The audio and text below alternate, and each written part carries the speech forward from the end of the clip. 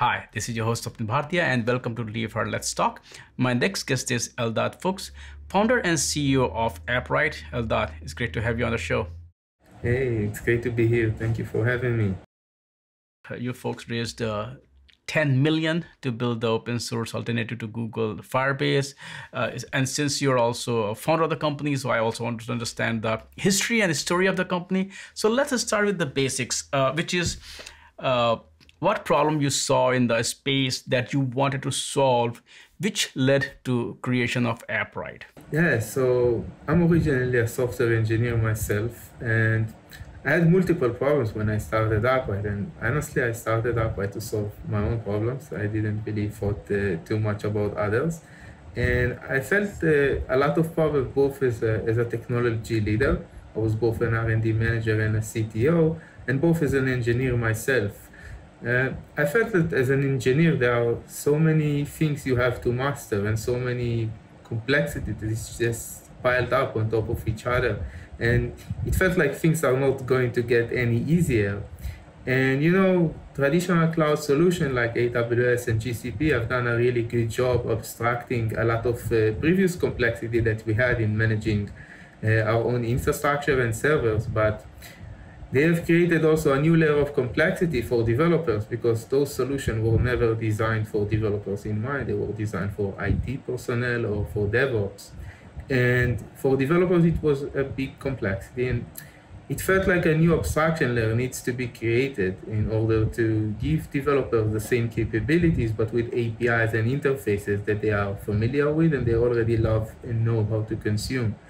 So basically, Appwrite is this abstraction layer on top of those uh, traditional uh, infrastructure that allows developer to rapidly develop new applications on top of uh, any core APIs that they usually need to build on themselves, like an API for managing users, for managing a database, for managing storage, and even cloud functions that allows you to customize your entire solution in, according to your own business needs. Now, if I want to just like have a very myopic view and look at Appwrite and ask you what exactly do you do do you folks do? So we basically we create an abstraction layer that allows developers to quickly build secure applications on, on top of existing apis and protocols that they already know how to consume instead of building those solutions from scratch or trying to combine different solutions and integrating them together which sometimes can take you weeks and even in worst cases it, it, won't even work and all the other different services are integrated together to work perfectly in harmony. Also you folks you know kind of not compete but you know look at google firebase you know and offer an alternative how different is Appwrite from Google Firebase? Well, so we can see multiple differentiations. Uh, the first one and the most obvious one is that we're building our product uh, as an open source project with the open source community, which has been a huge and massive uh, multiplying factor in our growth and in our product advancement because we have over 250 contributors and a community of over 40,000 developers that is just always backing us up, helping us move forward and improve the product and uh, get uh, the word out to, to more people. On the other front, because we're an open source solution, we're also a self-hosted solution, which allows you to host your data on your own data center, on your own infrastructure, and also own it. So when we see privacy and uh, more, more privacy awareness and more regulations around the world, self-hosted solutions are actually a really good answer to a lot of organizations out there, and we're seeing that this trend is continuously growing. On the other front, Firebase is a great solution, but it wasn't really born as a backend as a service. It kind of pivoted towards being a backend as a service. And Appwrite was designed to be a backend as a service from day one. And that comes into action in uh, the unique developer experience that we're offering and how the different services are so easy to consume and integrate so well with each other. You brought up point of privacy. There are so many things that we can talk about when we do talk about either self-hosted or decentralized. Uh, privacy is there. Uh, another thing is vendor lock-in is also there.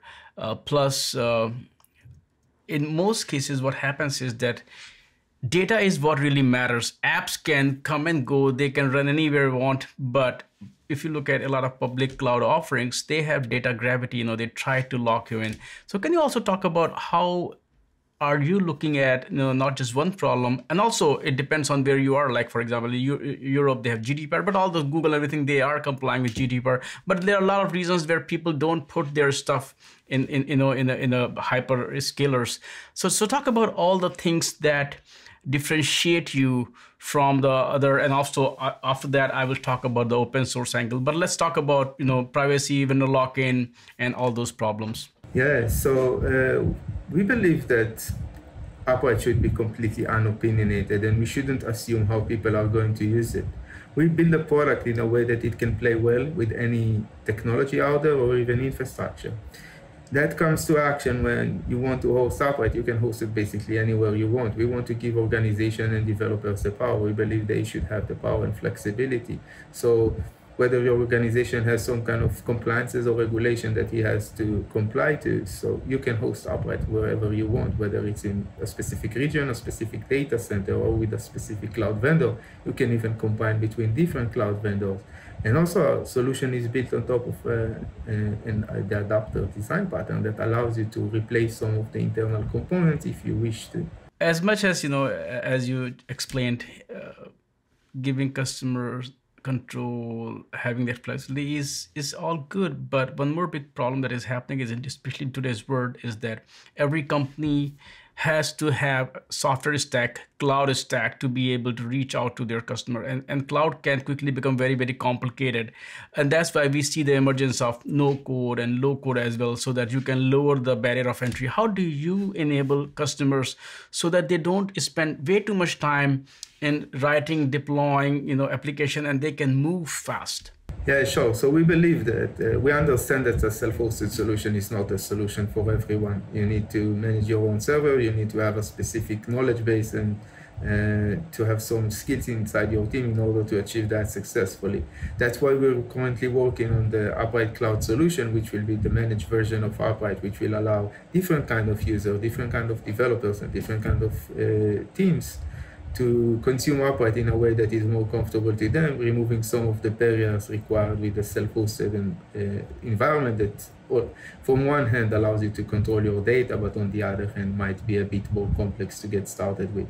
So again, we're choosing the unopinionated approach, uh, trying to find good solution for any kind of different use cases. One more problem that we see in cloud computing is that things can get complicated very quickly.